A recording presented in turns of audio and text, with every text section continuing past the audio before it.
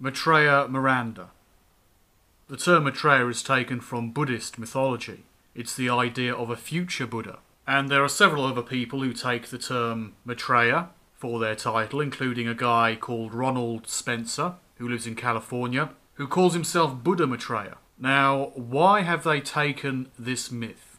Within New Age and other ill informed practices, they associate the idea of a coming Buddha, which is the idea of the future Buddha, they associate it with the idea of the Christ. So they're saying that they're both the second coming of Jesus and yet another coming of the Buddha. Many people have claimed to be the new Buddha. Every so often a guru pops up in India or in Southeast Asia and they claim to be the Buddha, or people claim of them that they must be this high and most enlightened being. With the New Age movement, many people, perhaps less informed, have also said the same. Many psychics and mediums claim to have the Buddha, or one of the Buddhas, as their spiritual guide. But also, many people claim to channel this higher source. And a smaller number actually claim to be the new incarnation of the Buddha. The people who hijack such terms as Maitreya don't even seem to have actually researched what it actually means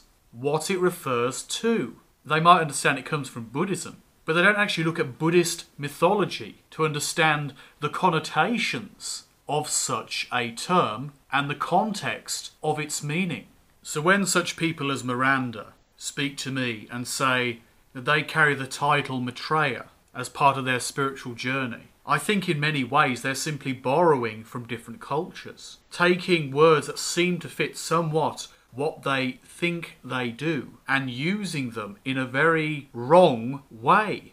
When it comes down to Ron Spencer, so called Buddha Maitreya in California, he's far worse. I would say he's far worse than Miranda because he is literally saying that he is the Buddha as well as the Christ. So he's going one step further at the very least. Whereas Miranda's view is she's channeling a level of consciousness so basically, what we're talking about is quite simply another example of New Age practitioners taking words they don't fully understand and using them poorly.